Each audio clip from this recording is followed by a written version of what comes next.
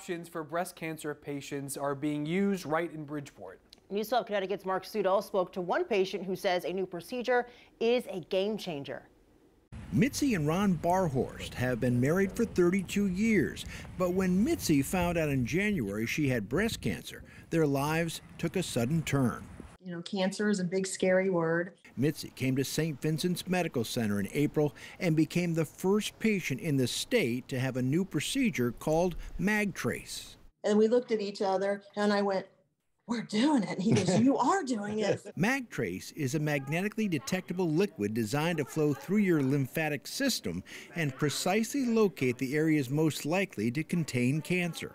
And having the MagTrace has been, it's just been a, for me, it was like a, just a game changer because I didn't go through a lot of the things that people normally go through when they have the breast cancer. MagTrace can avoid removal of your lymph nodes and can avoid chemotherapy and radiation.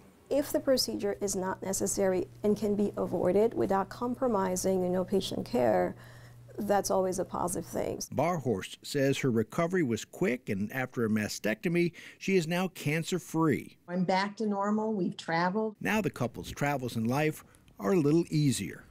In Bridgeport, Mark Sudol, News 12 Connecticut. Doctors say MagTrace is only for patients with stage zero breast cancer.